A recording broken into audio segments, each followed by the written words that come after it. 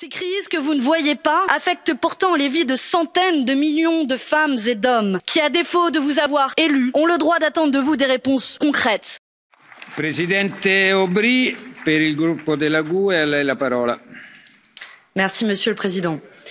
Madame la Présidente von der Leyen, chers collègues, pour décrire fidèlement l'état de l'Union et lui donner un cap politique adapté, encore faut il être lucide sur la situation dramatique dans laquelle elle se trouve.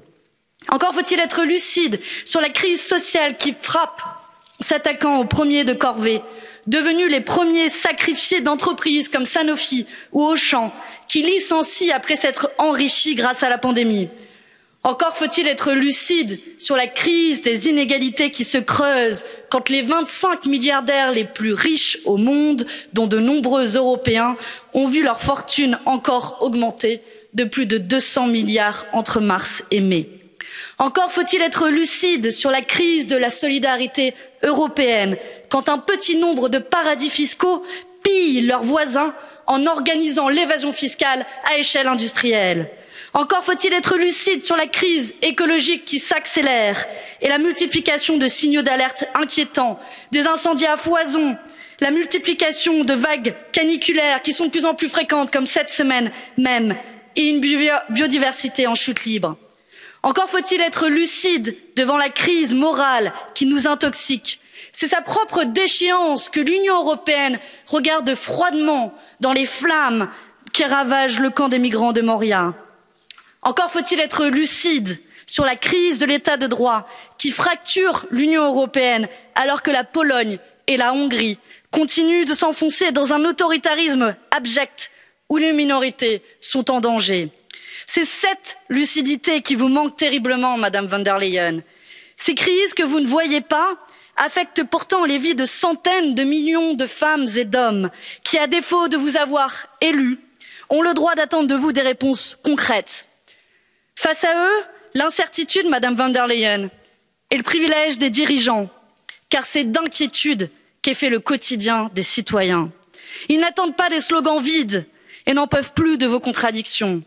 alors vous annoncez aujourd'hui en grande pompe un nouvel objectif de réduction des émissions de gaz à effet de serre de cinquante cinq à l'horizon deux mille trente mais il est déjà bien en deçà des soixante cinq scientifiquement nécessaires pour respecter l'accord de paris. et comment osez vous affaiblir encore plus cet objectif par un tour de passe passe en déduisant les émissions absorbées par les puits de carbone comme les forêts? Ce choix est irresponsable madame von der leyen. pour sauver l'humanité du réchauffement climatique nous devons réduire nos émissions pas bidouiller les comptes. vous promettez la souveraineté industrielle mais vous continuez à négocier à tout va des accords de libre échange avec le mexique la chine le mercosur et tant d'autres. vous prétendez revoir le mécanisme de contrôle budgétaire mais vous vous apprêtez à exiger des états bénéficiaires du plan de relance l'application d'énièmes réformes austéritaires dont personne ne veut.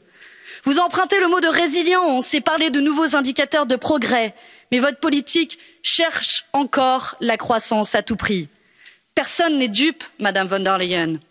si vos mots changent progressivement vos recettes restent les mêmes libre échange austérité concurrence ces mêmes recettes qui nous ont menés au bord du gouffre.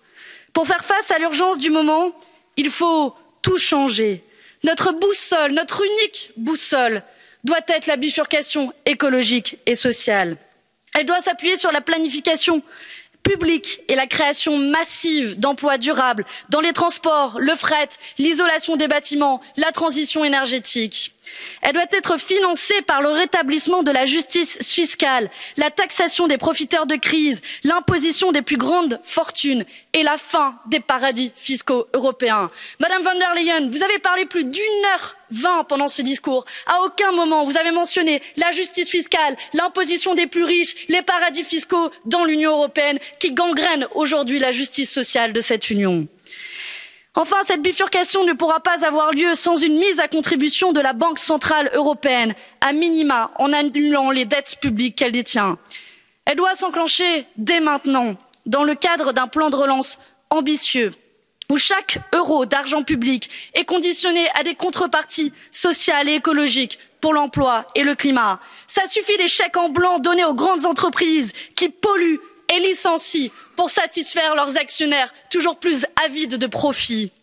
une fois de plus soyons lucides cette bifurcation ne se fera pas par magie en croisant les doigts pour que la main invisible du marché répare naturellement ce qu'il a détruit. alors madame von der leyen si vous voulez sortir de l'incertitude acceptez enfin de bousculer vos certitudes. merci.